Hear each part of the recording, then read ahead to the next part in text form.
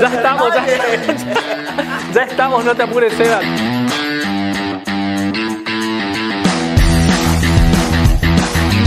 Me pidieron onda, códigos en la tele, segunda temporada.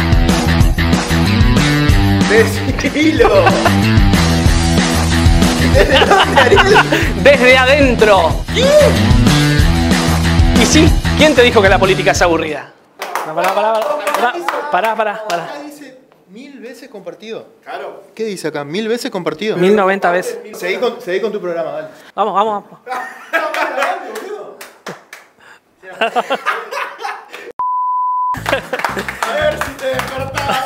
Hola, hola, muy buenas noches. Gracias por estar del otro lado. Gracias por hacer cada día más grande esa revista códigos.com y por supuesto a Códigos en la Tele, la política desde adentro. 1099 com- eh, veces se compartió una noticia, ¿no? Es así.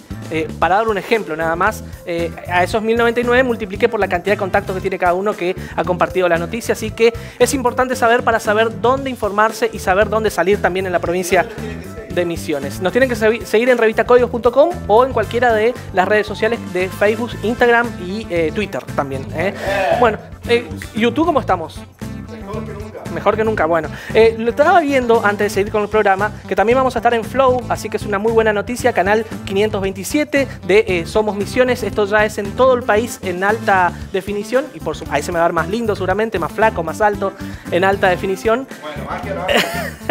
y también a través de eh, la, la web, ¿no? O sea, lo que sería la competencia, ¿vamos a nombrar o no? No, vamos a nombrar Flow nomás, no vamos a, a- nombrar la, la competencia. Gracias por estar del otro lado. Hoy programón con tres invitados, tres temas totalmente diferentes pero relacionados.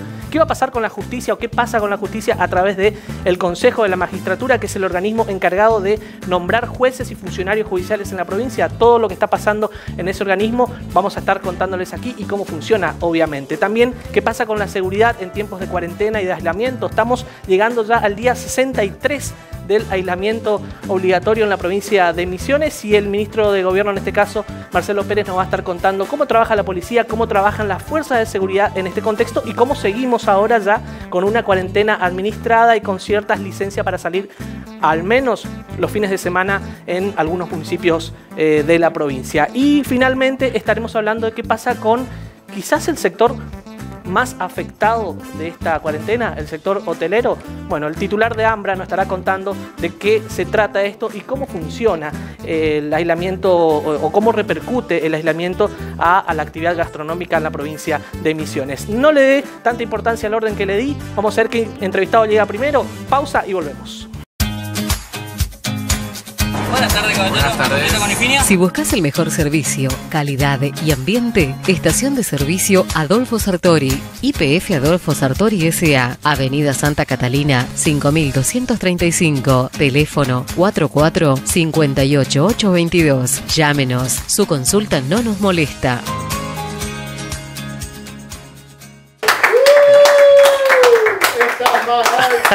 Estoy más alto, se nota.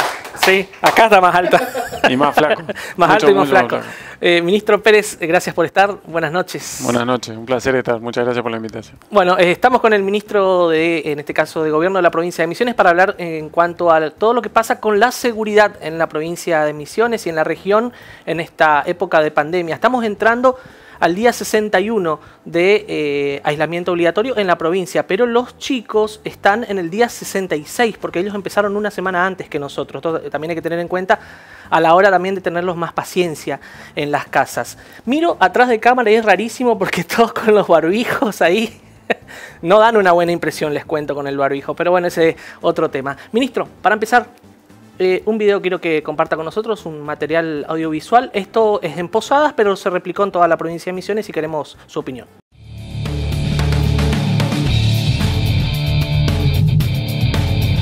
aprovechando así para que salga a pasear un ratito y ver algo distinto. Eh, él, como dijiste, hace casi 60 días que no sale de casa. Dentro de lo permitido, tratar de aprovechar el rato que podemos caminar con los chicos. Todo muy bien or- organizado, mucho control, eh, bien delimitados lo- los espacios, ya con la información previa, a bajarse la aplicación, cargar los datos. Nosotros como parte del CEF número uno venimos con para decirle las prevenciones, por ahí si vemos a alguien sin barbijo, o sea, la gente, por lo que yo veo, desde mi punto de vista, están tomando muchos, muchos recaudos. Ministro. Bueno, eh, el gobierno pone las reglas, pero el mérito es de la gente, que respeta las reglas y toma conciencia. Ese video que vemos ahí, el mérito es de la sociedad que entendió la situación en la que nos encontramos. Vos podés poner todas las reglas del mundo, pero si la gente no las respeta, eh, no se puede llevar adelante. Y este es el mérito de la sociedad. Lo mismo pasó, por ejemplo, Montecarlo, Campo Grande, Oberá, Garupá, por nombrar algunos municipios que también eh, se arriesgaron, si vale el término, a esta salida también, eh, y, se cumplió bastante bien, ¿no? En, todos, en, todos los, todas las localidades, en todos los municipios que, que tuvieron este, esta actividad, eh, se ha cumplido, fue una prueba piloto este domingo que pasó, pero, pero seguramente, no, seguramente lo vamos a replicar semana a semana porque entendemos que, que la prueba piloto resultó, por eso dije que es un mérito de la gente más allá de las reglas que puede poner un gobierno. Mm. Eh, a ese mérito le, ponemos, le podemos poner barra obligaciones porque también estamos lamentablemente viendo casos en Buenos Aires, en algunos municipios, de algunos partidos de la provincia de Buenos Aires, Córdoba capital, donde lamentablemente eh, la reapertura de comercios, las libertades, si vale el término que se han dado, eh, no han sido bien aprovechadas eh, y lamentablemente hoy están volviendo hacia atrás, cosa que es muy difícil para la sociedad en general, para nuestro estado mental, pero especialmente para la economía. Tenemos que acostumbrarnos a vivir en una sociedad, hasta tanto que no exista la cura, no exista la vacuna, en una sociedad diferente a la que conocimos cuatro meses, cinco meses atrás. Eh, acostumbrarnos a eso, tener conciencia de eso y obrar en consecuencia. Vos decías recién, atrás de cámara están todos con barbijos. Bueno, eh, es lo que corresponde. Tomar los recaudos y las previsiones y las prevenciones que todos debemos tener para poder seguir evolucionando hacia adelante y no eh, retrocediendo en las medidas porque hay que volver a restringir libertades debido a que la, enfermedad avanza.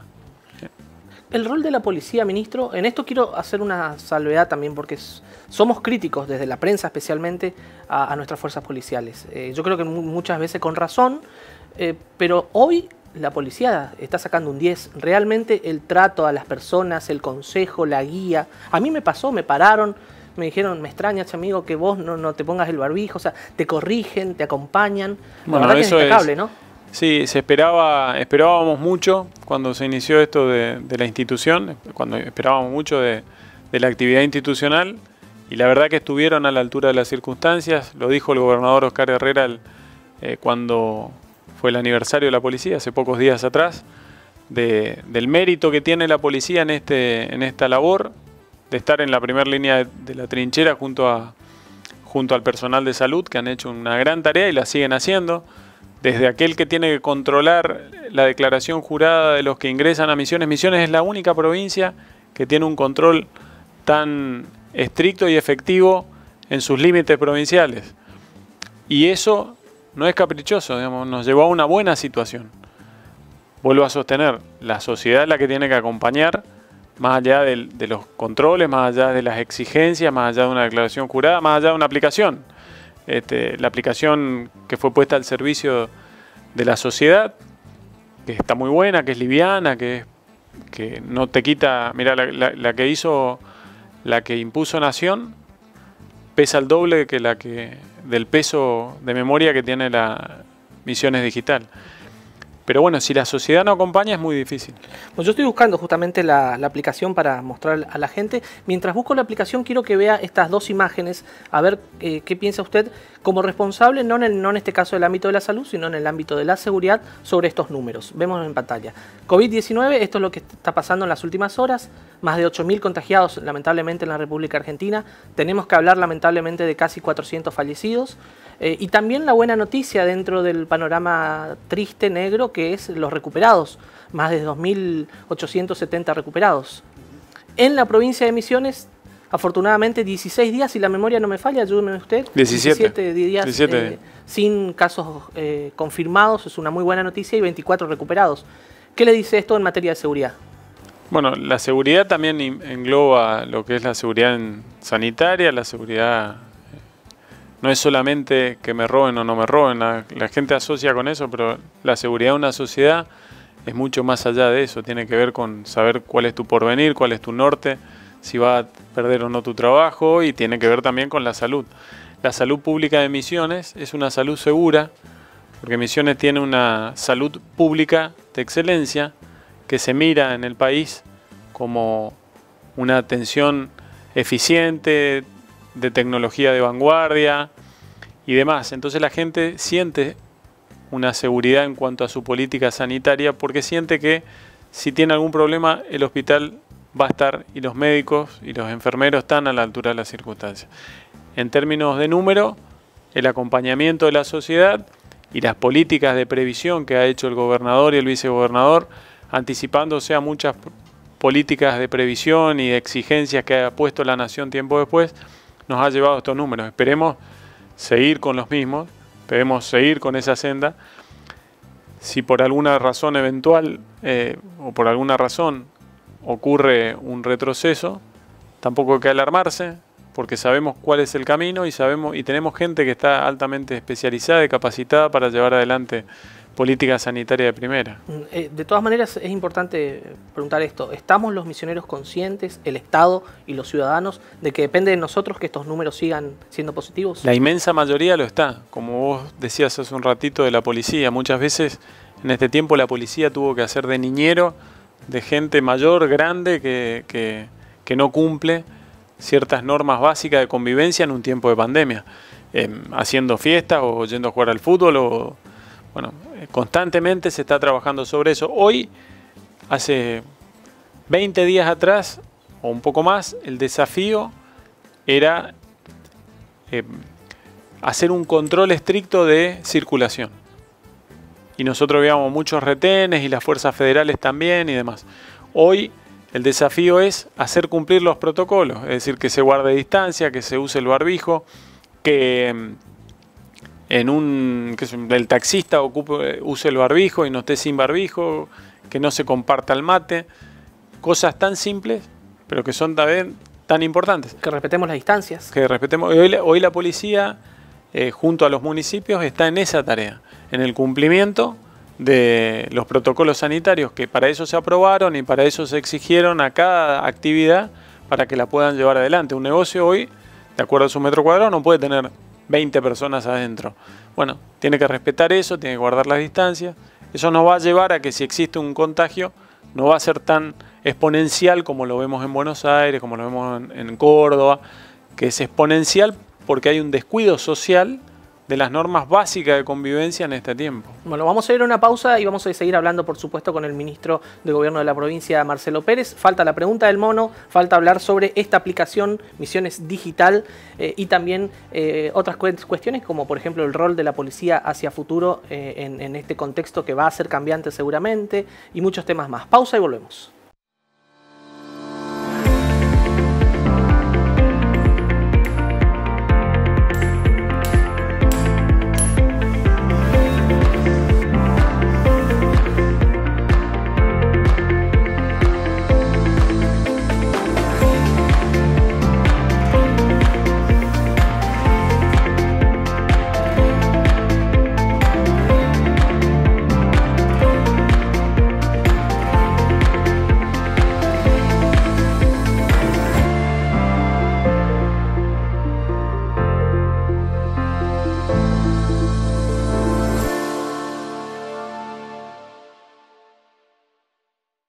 Otro bloque de códigos en la tele, la política desde adentro. Seguimos con el ministro de Gobierno Marcelo Pérez. Ahora para eh, bueno, preguntarle, eh, quedaba algunas cuestiones pendientes en el bloque anterior. Por ejemplo, los registros. Me decías que eh, están unificando trámites, unificando entidades para que la gente no se mueva tanto. ¿Cómo es esto? Hay dos leyes aprobadas el año pasado del ingeniero Rovira.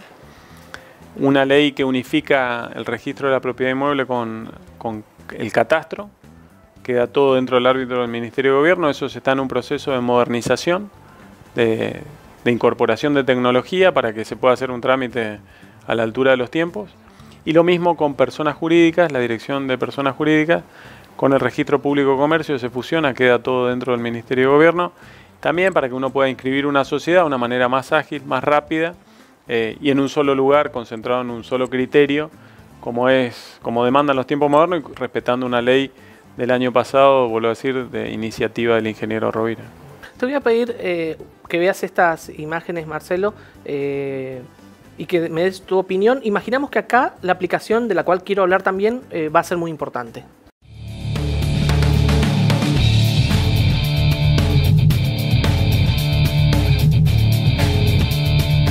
poder ingresar hasta 100 personas, 100 clientes a la vez va a haber un solo locatario en cada puesto de, trabajo. Eh, está la policía en este momento dándonos una mano, controlando que se estén cumpliendo todo el protocolo que, que presentamos. Sí, era una cuestión de suma urgencia el hecho de volver a abrir las puertas y poder vender de esta manera, porque por ahí se les complicaba mucho la venta online.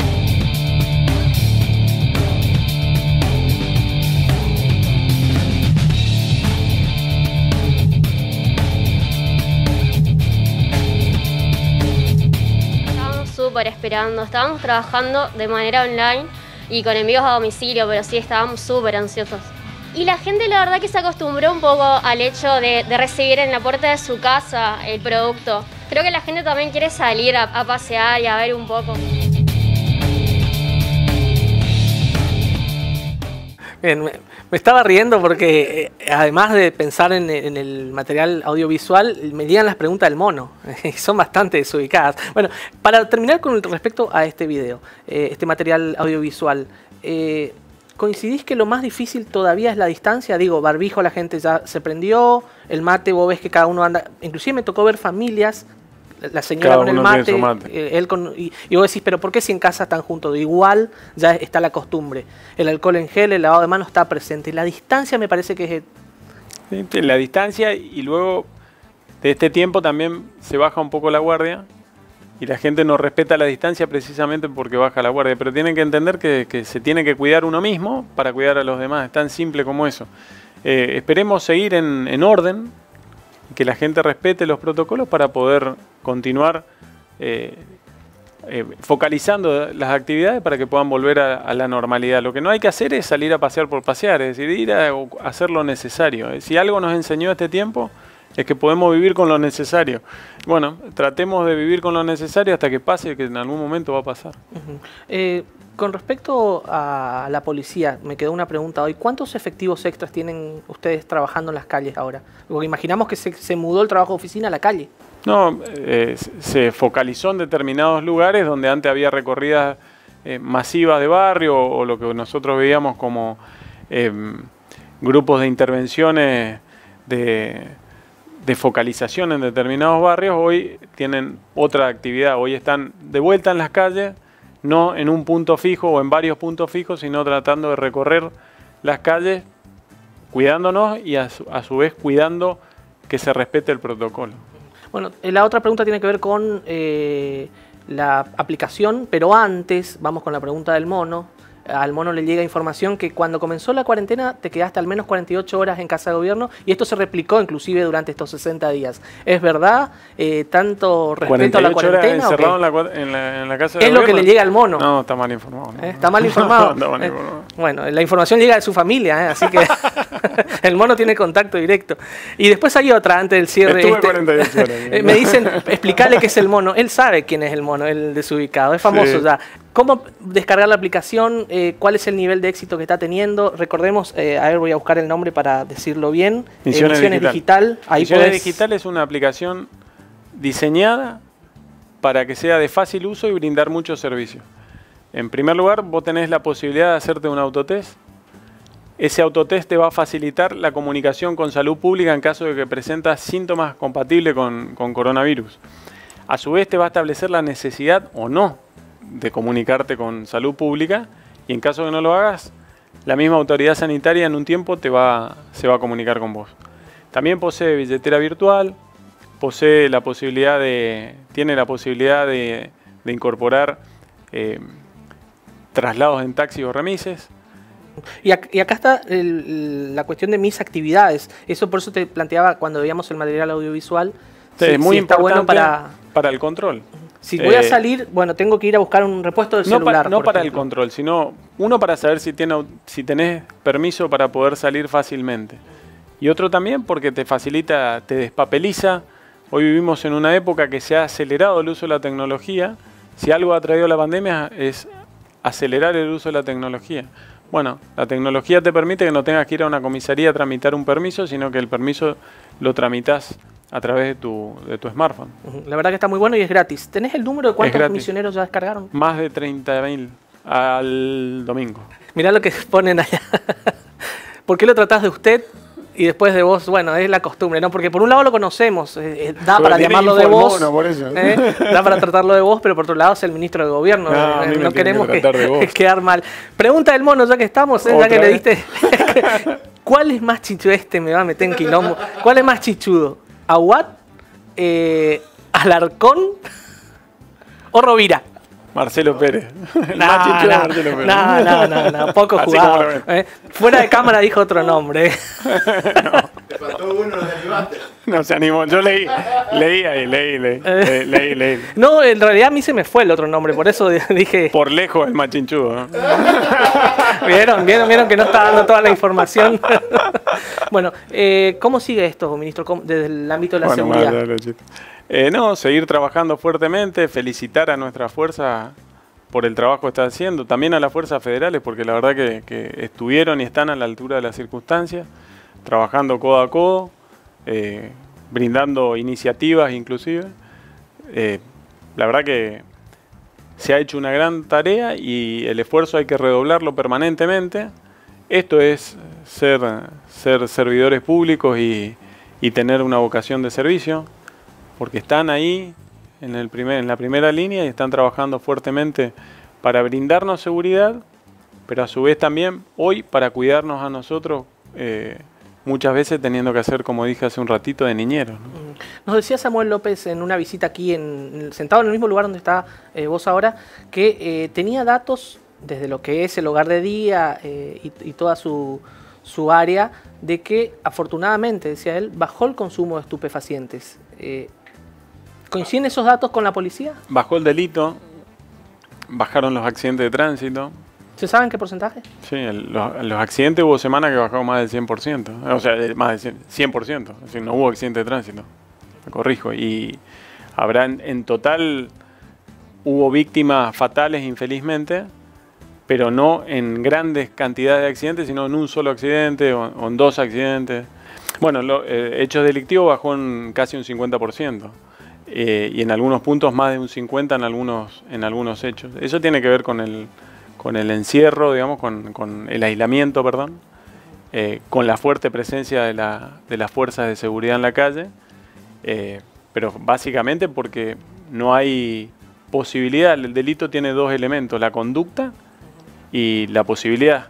La conducta difícilmente un, un funcionario pueda intervenir, porque aquel que está convencido que va a delinquir lo va a hacer igual pero sí sobre la oportunidad.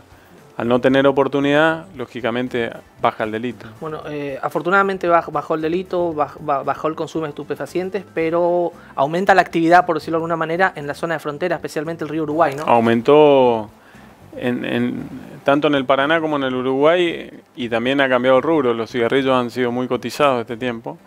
Eh, en la, ¿Nuestros vinos valen más? Nuestros vinos valen más, la soja vale mucho.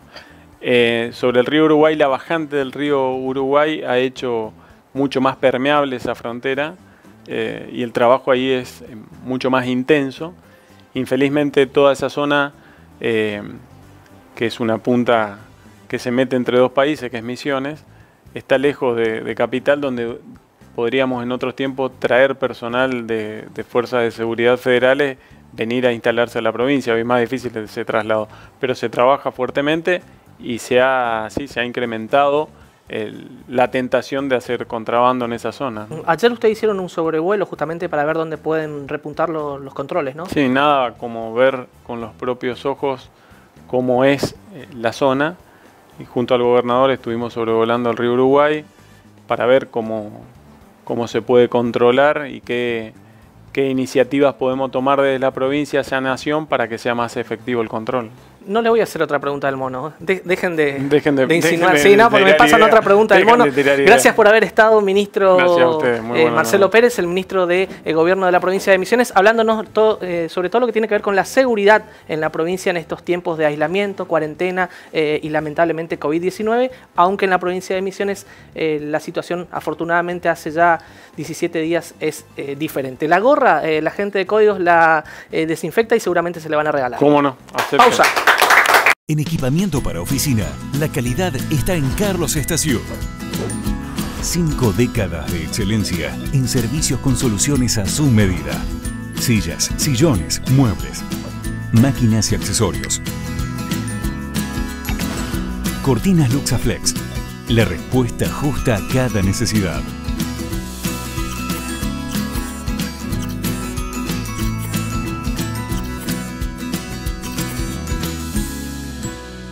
Carlos Estacióc, donde la calidad cuesta menos de lo que usted piensa. Qué pobre ese aplauso, ¿eh? Aplauso en, tiempos de, COVID-19, ¿no? Bueno, estaba mirando acá en mi celular códigos en la tele en todo el país a través de la plataforma Flow, así que Gustavo Alvarenga, cuidado con lo que decís, porque te van a ver ahora en toda la República Argentina mediante la plataforma de eh, Cablevisión o Somos Misiones, que es eh, Flow, está siendo más utilizada que inclusive los canales de cable. Mucha gente que tiene Flow y que ya no tiene más canales de cable. No me mida si es cierto lo que le digo como Netflix también, pero es la competencia, no hay que nombrarla.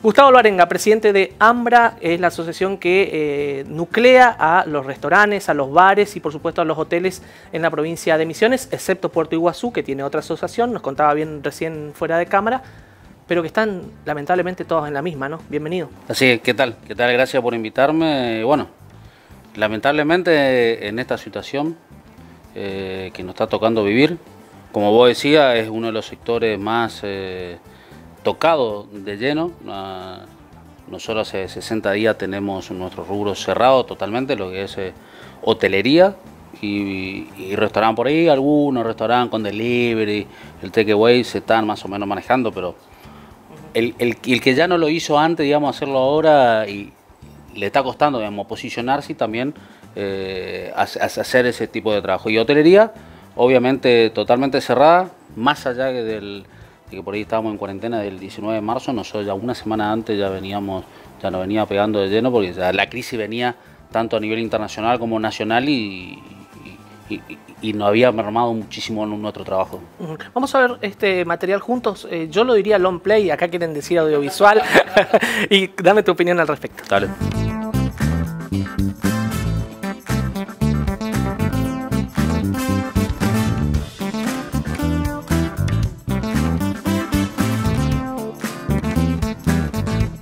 El silencio dice más casi que las imágenes, ¿no? Eh, te duele, te duele ver, hay muchas más imágenes peores y vos por ahí pasaban imágenes lo que es hotelería, están totalmente con, candados eh, en toda la provincia, esto a lo largo de la noche, en todo el país, digamos. Además, hace poco tuvimos una charla también con, un chef que está en España y le, y le volvió a preguntar era tal hotel, están parados los hoteles. O sea, esto la, la, verdad que es un problema internacional, nacional y provincial. Entonces, la, la verdad que estamos en un panorama no quiero ser pesimista, pero lo, estamos bastante complicados y hace más de dos meses, ya es mucho. Ustedes no, tienen ni siquiera esta salida como tienen los bares, digo de los, hoteles en este caso. No, de eh, el, bar, un 15, un 20%, según lo que hablé con los mozos y responsables, están recuperando, que es mínimo igual, un 20% de lo que vendían antes, pero para los costos eh, con deliveries. Ustedes no, no, pueden tener delivery de nada y además imagino que cuando vuelva toda la actividad, si es que en algún momento vuelve, ustedes tienen que esperar casi un año para que se reactive todo de vuelta, los vuelos, todo, ¿no? Sí, nosotros ahora estamos eh, con un, no te digo la palabra peleando, pero sí estamos trabajando junto con el gobierno para tener una apertura parcial de lo que es la hotelería, porque hay, hay, una demanda, digamos, de viajantes, sobre todo ahora que se están abriendo muchos eh, más rubros una demanda de viajantes de productos esenciales que está viendo que la gente está viniendo, digamos, es, es, una realidad y se necesitan alojar. Hoy, hoy en día no pueden, nosotros hablamos por ahí con los responsables de los viajantes y nos dicen, mira, estamos durmiendo en los autos, eh, casi inconcebible. También hay emergencias médicas de otra índole, la gente se, se, sigue informando, hay que operarse, consume por ahí el, el hospital o los sanatorios de la ciudad y el acompañante por uno se opera, se, sigue internado, pero vienen con acompañante. El acompañante también necesita alojarse y no tiene lugar. Nosotros estamos hoy prohibidos en, darle ese alojamiento, entonces estamos interesados, digamos, bueno, el que quiera abrir, digamos, que sea algo voluntario, pero que esté dentro de la norma. Imaginamos un protocolo con un 33%, por ejemplo, del, hotel abierto. Sí, sí, sí, se está hablando, se ya, y nosotros con el Ministerio de Turismo elaboramos un protocolo, ellos elevaron esto al Ministerio de Salud de la Nación, ya fue homologado, ya fue aprobado, digamos. Están esperando, yo creo que la provincia está esperando eh, tiempo prudencial para ver cómo se comporta la parte sanitaria, digamos, con esta apertura de, de los negocios tradicionales, para ver si ya nos dan la apertura en breve. En breve. ¿Cuántos hoteles hay en la provincia, exceptuando Iguazú, donde ustedes no tienen Mira, injerencia? No, no, te puedo decir bien, te puedo decir... Un promedio. Lo que te puedo decir son las camas. Las camas entre Iguazú y, el resto de la provincia, más o menos 25.000 camas. Son en donde dependen también casi eh, 20.000 personas en, en toda la provincia, en forma directa. Directa. Directa, en forma directa. O sea, más de 20.000 personas dependen del turismo en la provincia de forma directa. forma directa sin contar, digamos, los otros rubros, agencia de turismo, transporte, eh, otras actividades, qué sé yo, desde el kayak que va a alquilar para, para, para hacer turismo, bicicleta que va a alquilar para hacer turismo, guía de turismo. Eh, nos estamos olvidando todo, todo, todo lo que es el turismo, eventos, todo lo que se dedican a hacer eventos, a a tener los productos para hacer eventos, la materia prima para hacer eventos, y, no estamos hablando de lo que es eh, la noche, por así decirlo, las discotecas, digamos, están totalmente paradas, que, también son muy importantes para, el entretenimiento. Ahí estamos hablando de un universo de mucha más gente. Esta imagen, podría preguntarte y analizar un montón de cosas, pero creo que la imagen habla por sí sola. ¿Qué te dice esta imagen más allá que sea Iguazú y, y no Posadas, pero es la provincia de Misiones. En bueno, es uno de los hoteles que ha dicho que no va a abrir más, tanto el de Iguazú como el de Posadas. Son decisiones, ellos, nosotros no estamos metidos, digamos, en la, financiera, en lo que es la finanza de ellos, digamos, pero es más, lo ha dicho Barro Nuevo, de las 45.000 empresas que hay en el país de rubro gastronómico van a quedar la mitad. O sea, esto es así, nosotros no estamos viendo todavía porque estamos en plena cuarentena, eh, estamos en el proceso, digamos. Hoy tuve una charla, una teleconferencia con Martín Lustó, y, eh, el economista, y él mismo decía, no, no, todavía no se está viendo el resultado, digamos, porque todavía esto no terminó, estamos en la, en la mitad de todo. Al final, lamentablemente, no nos va a salir gratis esto y yo creo que vamos a tener resultados malos, digamos. Bueno, por ejemplo, veía una agencia de viaje me mandó una promoción para el 2021, eh, un destino clásico mundial, 50% más barato el hotel all inclusive eh, y el vuelo. O sea, ves que el turismo puede decrecer en, materia tarifaria en vez de aumentar, porque estamos hablando de inflación, de que, aumenta todo, pero el turismo te está ofreciendo a futuro eh, ofertas con 50% de descuento. Sí, yo creo que eso de ahora, digamos, algunos se han lanzado a hacer eh, otras promociones, otros no, digamos, otros somos más prudentes, estamos viendo a ver qué pasa. sí va a haber un cambio en lo que es, lo que es precio, eh, lo que son ofertas. Pero yo creo que la gente va a tener ganas de viajar. Una vez que esto por ahí se, se, tranquilice, ni hablar si saca una vacuna, y bueno, pero hay que esperar la distribución para que todos queden inmunizados, ni hablar, pero yo creo que la gente tiene ganas, ganas de consumir, digamos, yo creo que la gente, esto es una apreciación mía, ojo, es muy personal, no es que se vaya a golpar y que sea como antes, pero una vez que más o menos se normalice, la gente tiene ganas de salir, de consumir, digamos, y de, y de, y de estar bien con los amigos, de, ir al restaurante frente al río y, comer un pescado de río, ¿viste? Ir a un hotel, disfrutar. Eh, yo creo que, que por ese lado va a ser un rubro que, se va a reactivar rápido. Que se va a reactivar. Hay que pasar este lapso que es muy fuerte, ¿viste? Entonces, en, este lapso, digamos, va a haber gente que va a quedar en el camino. vamos a cambiar un poquito el ánimo de la nota. Eh, el mono tiene información, más que información, pregunta. Eh, ¿Qué ventaja tiene tener un hotel vamos a decir que el señor es propietario de un hotel muy importante de la provincia de Misiones, dos en realidad, porque tenés el... Dos, ya yo tengo uno en el interior, que otro concepto, que son eh, lodge, digamos, en medio de la selva. Claro, en 2 de mayo. 2 de mayo. Eh, decirle el nombre, decirlo porque después facturamos publicidad Y Tororó Lodge en 2 de mayo. Eh, eso, eso hay que recomendar. ¿Podríamos hacer un canje para ir con la gente de Código en algún momento cuando se levante la cuarentena? No hay problema, no van a querer ni más. Está muy lindo el lugar, en serio. Bueno, pregunta del mono. ¿Ventaja de tener un hotel cuando te peleas con tu señora? Ventaja. Y bueno, ella no me quiere echar, me dice porque sabe que tengo donde parar, ¿viste? Siempre me dice, no te voy a echar, no te voy a echar, no te voy a echar, porque yo sé dónde vos, porque ¿viste? a veces te echan y vos, bueno, no, no sabes dónde ir. O me voy con mi mamá, que también vive sola, o tengo 100 habitaciones para elegir. lo, lo, malo que sabes dónde te puede encontrar. o ella sabe dónde te puede encontrar. Pero no en qué habitación. bueno, eh, expectativas me decías, eh, las mejores pese a todo esto, por, lo que eh, veo en tu en En el futuro sí, en un mediano plazo. Digamos. En un mediano plazo, en un corto no. No ya, yo creo que 2020 es complicado, es muy complicado. nosotros perdimos una excelente temporada que se venía. te duele ni pensar porque no. A ver, la hotelería no es un producto que vos lo guardás y lo toqueás y lo podés volver a vender. Noche que perdiste de vender, noche que nunca más la vas a vender. O sea, la Semana Santa este que pasó, que veníamos con una expectativa muy buena en toda la provincia, más que cuando pasaba y era eh, tiempo espectacular, temperatura espectacular, y te parece a propósito, eh, no está lloviendo, eh, para hacer turismo, estos dos meses fueron espectaculares. No, está todo cerrado y viste, te, te duele. Entonces hay una expectativa a mediano plazo. Yo creo que recién vamos a estar trabajando más o menos bien ya a fin de año. ¿Qué pasa con el empleado? Imagino el empleado desde dos puntos de vista. El punto de vista que tenés que pagarle el sueldo a fin de mes igual a la mucama, al, al botones, tengas abierto o no el hotel. Así es. Y por otro lado, eh, los mismos empleados que tenían ese dólar de, propina, que hoy son 100 pesos. No, no, ¿Eh? hoy la propina no existe, digamos bueno, pero digo el turista por ahí, que, hoy ese, 100, pesos no tiene, por ejemplo. No, no, no, no tiene, sobre todo el mozo, viste, que, se mueve mucho con propina, no hay, no hay propina, todos estamos con miedo. Desde el último empleado hasta, hasta los dueños de la empresa, todo en, su, en su medida. Nosotros tenemos, a ver, no tenemos que preocupar por la salud nuestra, de cada uno de la familia, y nos tenemos que preocupar por la salud de, de la empresa. entonces eh, es complicado. Más allá de la ayuda, que son bienvenidas, que vinieron para pagar los sueldos, vos tenés que seguir pagando cosas, digamos, con entrada cero, con un flujo de caja cero. Entonces, a medida que pasa el tiempo, el primer mes, viste, te cuesta menos, el segundo mes, pero imagínate tres, cuatro, cinco meses sin, sin entrada y que vos te tengas que hacer cargo de, de muchos gastos.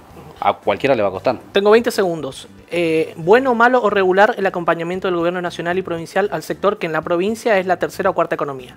No, yo creo que está por la mitad, digamos, y faltan. Te, digo, estamos trabajando codo a codo todos los días y nosotros estamos con el sobre todo un interlocutor directo que, el, que, es nuestro ministro Arruda, digamos, pero bueno, al estar cero, viste, nosotros obviamente que queremos mucho y mucho más. Yo creo que están llegando las medidas, sobre todo el pedido que se hizo mucho de la provincia y de nosotros a nivel nacional, y ahora hay paquetes específicos para turismo que lo vemos con mucho grado. Estuvimos hablando con Gustavo Alvarenga, él es el presidente eh, o el titular de AMBRA, esta asociación de hoteleros y restaurantes también de la provincia de Misiones, menos Iguazú. Él me aclaraba que Iguazú tiene eh, su asociación eh, en particular, hablándonos de lo que es la actualidad turística y del sector empresarial que trabaja con ello en la provincia de Misiones. Gracias por venir. No, gracias por invitarme. Pausa y volvemos. Pauta con nosotros y hace crecer tu negocio. Comunicate a nuestras líneas de contacto para conocer las promociones.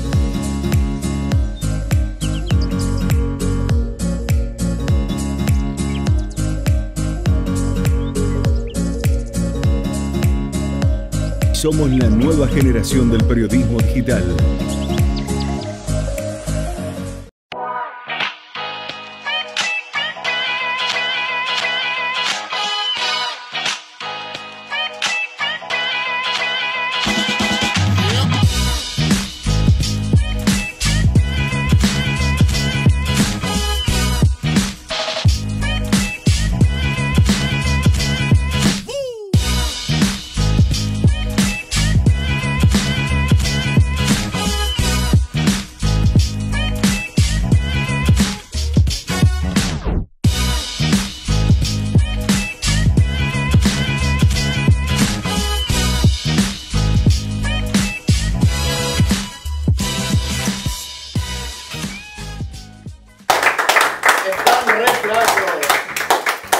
Cuenta la buena onda de este programa? Sí. ¿Eh? ¿Ya estás cayendo ya?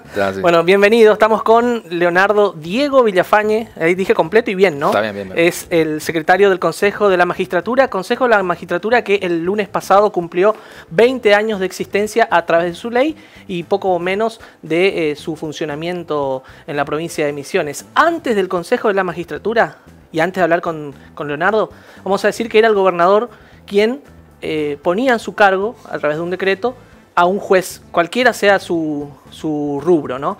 en la provincia de Misiones. Eh, eso se democratizó eh, y se mejoró el sistema de designación de jueces en la provincia con la llegada al Consejo de la Magistratura. ¿Qué es el Consejo de la Magistratura, Leo? ¿Qué tal? Bueno, primero, gracias. el Consejo es el órgano encargado de ese proceso de democratización, bien utilizado el concepto de democratización, porque en definitiva permitía que cualquier ciudadano que, se, quisiera acceder a un cargo tan importante se pueda postular, se pueda presentar y demostrar que tenía como preparación. Y bueno, y así fue pasando y es el Consejo ha sido el encargado de esa, eh, o es el encargado constitucional, por la reforma constitucional, de efectuar los concursos públicos para acceder a esos cargos, a cargo de magistrados, funcionarios del Ministerio Público Fiscal y Defensoría, y los jueces de paz de, la provincia de Misiones de primera y segunda categoría. Mañana se abre un cargo, una vacante, por ejemplo, un nuevo juzgado no verá.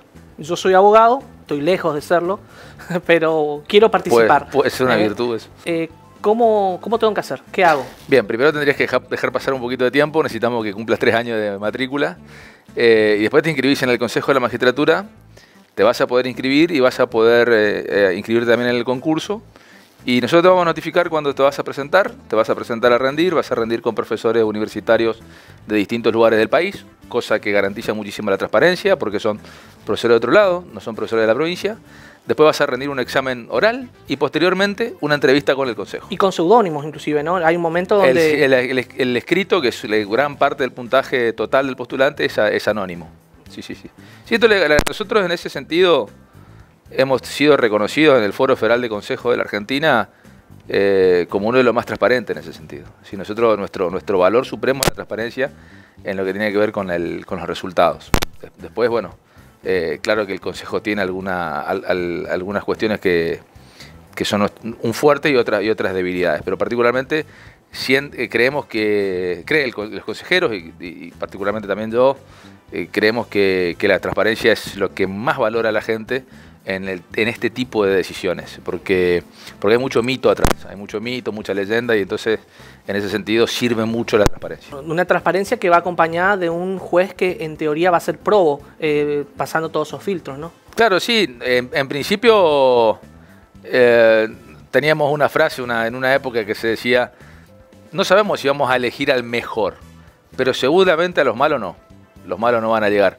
¿qué Entonces pasa en ese sentido es muy importante. Cuando ya tienen la lista de los eh, que con mejores puntajes. Bueno, los tres, los tres mejores puntajes se remiten al Poder Ejecutivo y el Poder Ejecutivo dentro del plazo legal, que son 90 días hábiles, va a tener que elegir uno de esos tres, no va a poder apartarse y va a remitir a la, a la Cámara para su acuerdo legislativo. Y ahí nosotros los ciudadanos comunes en la Cámara tenemos una participación, porque si alguien tiene un motivo particular para que alguien no sea juez, ahí tengo que ir a, plantearlo, ¿no? Sí, bien, la, ciudadanía tiene dos. Ahí yo eso este, está bueno remarcarlo porque es una... En, la etapa de, selección del Consejo también la ciudadanía tiene un periodo que se llama de objeción ciudadana. Nosotros la semana que viene estamos a publicar aproximadamente más de 15 listados, eh, donde pueden efectuar todo tipo de objeciones. Hemos tenido de todo tipo en la historia. En estos 20 años que, hacía referencia, Hemos tenido objeciones muy por, cuestiones muy severas de los postulantes, hasta eh, una, una, vecina que se quejaba que uno de los postulantes no le pagaba la cuenta del almacén. Es decir, y bueno, han sido objeciones ciudadanas que se plantean en el Consejo de la Magistratura, que ahora lo van a poder plantear online, o sea, a través del correo electrónico, porque lo vamos a difundir eh, en, este, en, el transcurso de este tiempo. Y, y, sí, y después se abre nuevo, de nuevo, de nuevo una, una un, periodo de control o, digamos, de, o de si quiere, de participación ciudadana en, la Cámara cuando, le, cuando en, las audiencias, en la Comisión de Acuerdo, le, digamos, tienen que defender los pliegos. En estos 60 días, eh, Leo, que estamos en aislamiento obligatorio. Eh, ustedes han tenido que recurrir, imagino, mucho a la eh, cuestión online. Eh, ¿Esto ha sido un avance para ustedes? Digo, después cuando en algún momento salgamos la cuarentena es algo que se va a quedar. ¿Es una herramienta que sirve o lamentablemente el trato tiene que ser personal? Mira, hay, cosas que, que han evolucionado. Los consejeros están sesionando a través de sesiones virtuales tenemos, habíamos, gracias a la, gente de Marandú que nos ha facilitado las plataformas, podemos realizar allí las, las, reuniones, a la gente de Marcelo Rodríguez. Eh, entonces eso nos, permitió tener un contacto fluido y permanente y rápido con los consejeros, que eso funcionó muy bien. También hemos evolucionado en el tema de que bueno hemos eh, sancionado un, proyecto, un, no un proyecto, un reglamento, reglamento para un procedimiento, para procedimientos en caso de excepción como este, y en, futuros casos también, porque eso vino para quedarse, que, digamos, permite que los profesores no tengan que venir hasta Posadas para tomar los exámenes, lo van a poder hacer a través de videoconferencia. Eh, las inscripciones van a poder ser absolutamente online, eh, por correo electrónico, las inscripciones a los concursos y las inscripciones al legajo permanente. Van a poder actualizar allí sus legajos, van a poder cargar todo y eso realmente ha sido ha permitido, por ejemplo, eh, cumplir con un objetivo que tenía la Presidente, que era la despapelización del Consejo. Y en ese sentido se avanzó mucho. ¿Se ha nombrado algún fiscal, juez en estos 60 días o no? No, tengo entendido que no. Nosotros hemos enviado en febrero eh, ternas, eh, pero, pero en, este, en este tiempo supongo yo que, bueno, atendiendo a la situación de prioridad de la cuestión pandémica, ha sido. Supongo yo que eso, eso no, no, no ha... Igual, igual el Consejo ya una vez que remite la terna, ya no forma parte del proceso de, decisión, sino que ya, está en manos del Poder Ejecutivo. no, ha habido examen externa en estos 60 días. Ha, habido eh, examen para, para juez de San Vicente en, a, principio de año. Eh, y hemos concluido y hemos remitido la terna. Sí, eso hemos podido hacer. Y ahora lo que nos está pasando es que, justamente lo que hacía referencia a vos, esto de que hay cuestiones que deben ser presenciales, es que los postulantes van a tener que estar rindiendo físicamente frente a, los funcionarios del Consejo porque eh, necesitamos que, bueno, controlar la actividad de ellos, ¿no? Es una cuestión de transparencia también, de que todos estén en la misma condición, de que tengan acceso al mismo material, etcétera. Eh, entonces, como hasta que no se habilite esto de poder, un postulante de Iguazú pueda venir a, a Posadas a rendir, eh, no lo vamos a poder hacer. Pero tengo entendido que si todo sigue igual, todo sigue bien, tengo esperanza de que sea pronto. Bueno, este programa nunca fue serio. Ahora lo estamos haciendo serio por la situación que estamos viviendo todos los, misioneros, los argentinos y en el mundo. Eh, y el que conduce realmente es el mono, que tiene una pregunta nada más en este tipo de, programas por ahora, hasta que volvamos a la normalidad y maneje él el programa. Y la pregunta del mono es la inconveniencia o conveniencia de estar detrás del nombramiento, en el buen sentido, ¿no? De tantos jueces en la provincia y fiscales. es bravo el mono, ¿no? Eh, es él sí, sí, bueno, me imagino. Aparte, como yo me dedico al derecho ambiental, digamos, tengo que respetar. Después tenemos que hablar de eso también. Eh, pero, a ver, yo para mí ha sido siempre un honor importante. Un honor increíble, me ha permitido crecer profesionalmente, me ha permitido conocer a gente muy relevante en lo que tiene que ver en la vida institucional de la provincia y de afuera de la provincia. Eh, y tiene, tiene, para mí ha sido siempre positivo, siempre positivo. Si me decís inconveniencia, te diría que prácticamente no, no he pasado mayores sinsabores, más allá de que, más, allá de que hay, de que hay, han habido, se dice, eh, el, doctor Alberto Espota decía que él no integraba los consejos de la magistratura porque eh, terminaba teniendo tres desagradecidos y, cinco mil enojados, que eran la gente que no quedaba en la terna.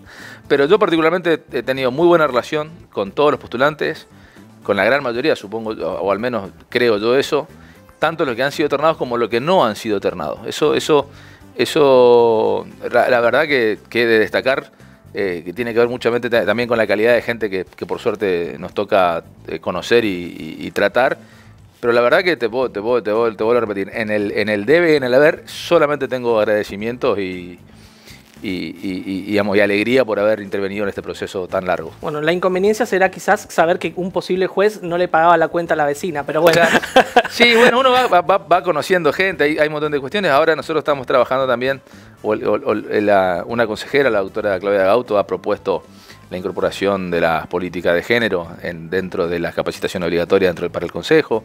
Eso está, está a consideración del cuerpo, del plenario. Eh, tengo entendido que, va a salir, eh, y así hemos ido avanzando en lo que tiene que ver, por ejemplo, con el, nosotros también pedimos eh, antecedentes a todos los, en todos los casos en lo que tiene que ver con el registro de alimentantes morosos, a, los juzgados para la información de ver si tienen algunas causas, si tienen sumarios, hay, digamos, en ese sentido sí hay una, algunos sinsabores, pero muy, muy, muy pocos y muy aparte es, parte de la función. ¿Cuántos eh, jueces, cuántos funcionarios eh, han nombrado en estos 20 años? Y nosotros vamos por el concurso terminado número 179. Y teníamos mucha esperanza, porque tenemos muchos en trámite, estamos, eh, ya superamos el número 190, teníamos mucha esperanza de que este año íbamos a ser redonditos eh, los, 200. 20 años en el 2020, 200 era para la quiniela. Eh, pero bueno, eh, seguramente va a haber alguna, algún retraso en eso. Hemos superado los mil, y, los mil postulantes que están registrados y han sido evaluados eventualmente. Así que sí, estamos muy bien, muy contentos con eso. Teníamos un muy buen ritmo de trabajo también antes de la pandemia. Veníamos muy bien, no tenemos prácticamente demoras, más allá de alguna situación específica. Eh, el Consejo también ha, tenido que ir definiendo prioridades, porque algunos sectores, eh, algunos juzgados son más urgentes que otros en algunas situaciones. Y, bueno, encima, encima estábamos eh, también justamente muy abocados al juzgado nuevo de Apóstoles, que es una, había sido un reclamo de, la, de tanto de la ciudadanía de Apóstoles como de los profesionales del foro. la creación de un, de un, nuevo juzgado y entero, completo, juez, fiscal y defensor, y estábamos abocados a eso y bueno, igual se terminó la inscripción y la lista la semana que viene estarían siendo publicadas para seguir con el procedimiento. Bueno, no tenemos más tiempo. Eh, tenemos una pregunta del mono que te salvó la campana. Eh, también no lo vamos a mencionar al amigo común que tenemos porque le está esperando que le mencionemos, pero no lo vamos a hacer. Eh, Mejor, porque trae mala suerte. Quedó pendiente hablar de lo que se viene en Noverá, que se viene otro Palacio de Justicia. Imaginamos que ahí ustedes van a tener una, participación importante en el nombramiento de jueces a futuro. Si hay más vacantes, sí. Y la cuestión del derecho ambiental, que sos especialista, pero bueno, eso para otro programa. ¿te parece? ¿Cómo no? Bueno, Leo Villafañe, él es el secretario del Consejo de la Magistratura de la provincia de Misiones y nos contó eh, detalles de esta eh, institución tan importante para el derecho y para la democracia que muchos no sabíamos de qué se trataba. Pauta con nosotros y hace crecer tu negocio. Comunicate a nuestras líneas de contacto para conocer las promociones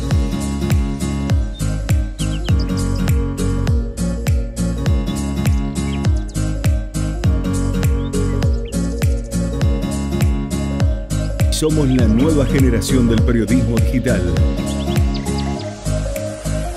Así llegamos al cierre de otro programa de Códigos en la Tele, la política desde adentro. Hoy no les voy a hablar ni del mono, ni de revistacódigos.com, ni tampoco de sus redes sociales. Hoy les voy a hablar de la novedad que la verdad nos hace cada vez más grande en Revista Código y tiene que ver con esta posibilidad de vernos en Flow. Eh, lo leo porque la verdad todavía no lo creo. Canal 527 de la señal de Somos Misiones en la ciudad de Oberá eh, y también Posadas respectivamente, y también en todo el país. Así que imagínense el presidente de la nación, por decir alguien, eh, mirando Flow allí en la Casa Rosada y viendo códigos en la tele. Ojalá, se puede dar, ¿no? Se puede dar tranquilamente ahora.